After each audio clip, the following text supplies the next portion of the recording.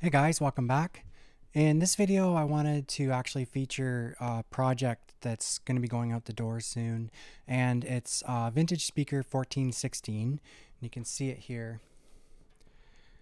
So I featured the design at least in a, a, a video a few weeks ago, and so I wanted to show the best way to explain this was to actually just walk you through a process where this speaker has a unique uh, option where you're able to actually run between passive and active. You're able to quickly configure the speaker uh, for either mode. And so today what I wanted to do was show you how to change the speaker uh, between the different the two different configurations.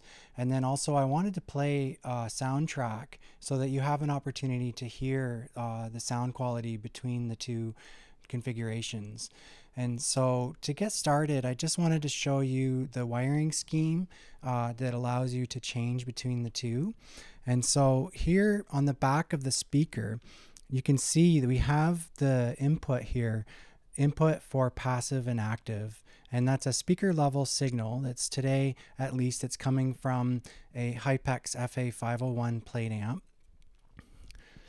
And then above it, you see passive output for high and mid range. And so these uh, banana plugs and wires are actually leading up to the top of the speaker where you have the mid range and treble uh, drivers.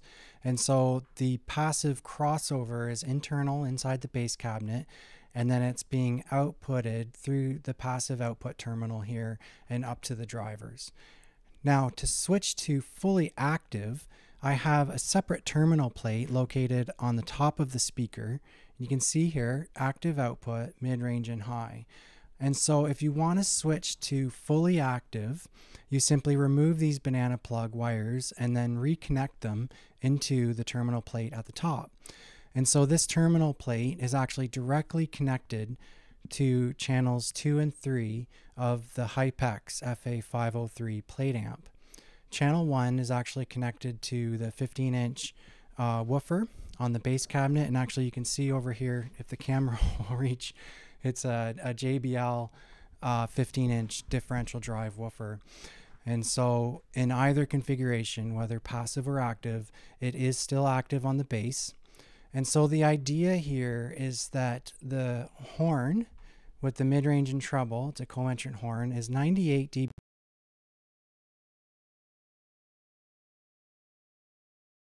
is to run a low power tube amp. So for today we have the FA501, which is a class D 500 watt plate amp.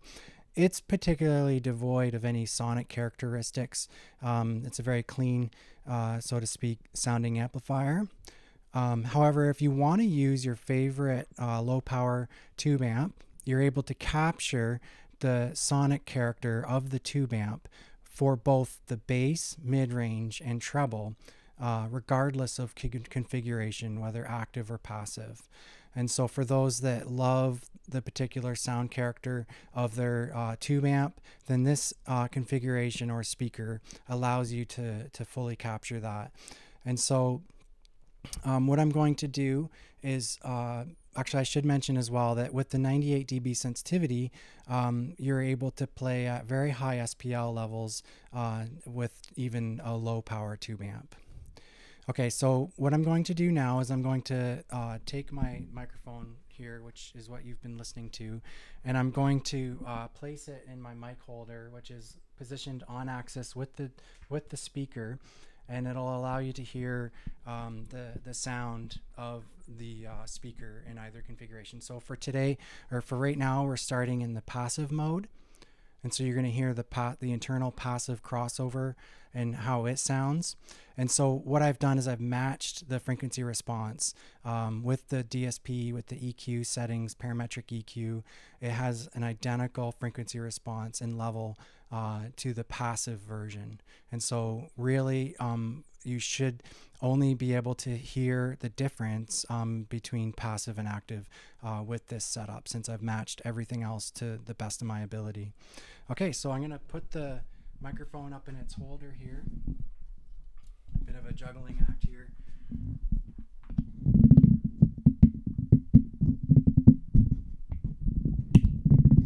Sorry about the noise there. And then I'm just going to uh, play my song.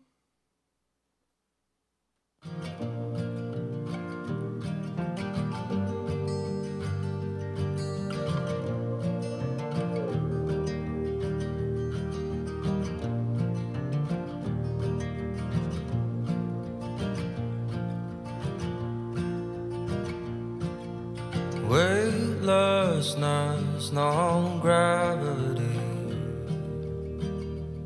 Where we somewhere in between. I'm a ghost to you, you're a ghost to me. Bird's eye view, San Luis.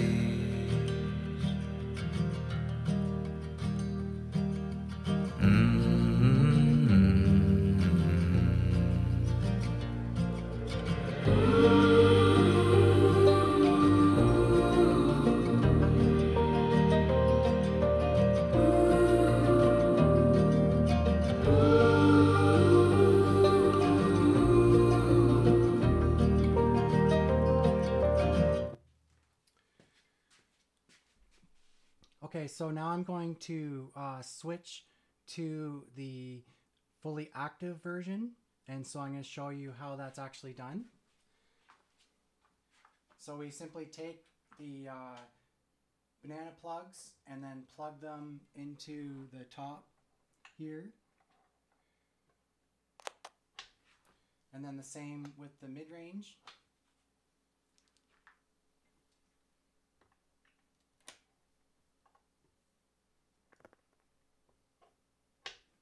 that.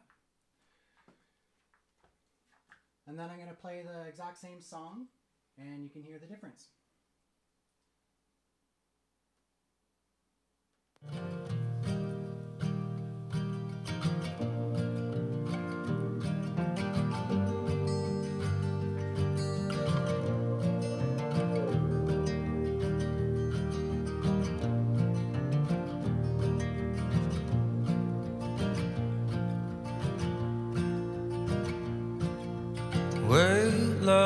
Weightlessness, no gravity. Where we somewhere in between. I'm a ghost to you, you're a ghost to me. Bird's eye view, San Luis.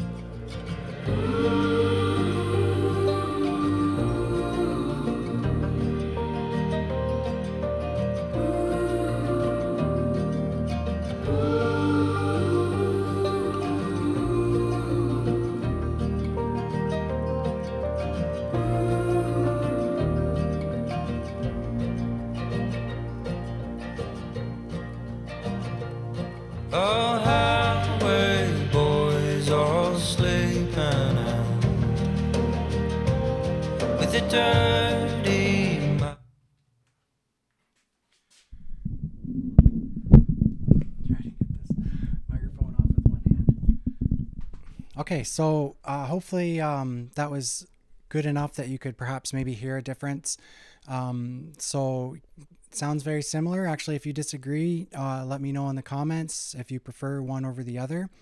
Um, so yeah, um, there you have it. Uh, an interesting flexible configuration option that um, I don't know if there's any other speakers that do this type of thing, but um, yeah, there you have it. Uh, take care and have a great day.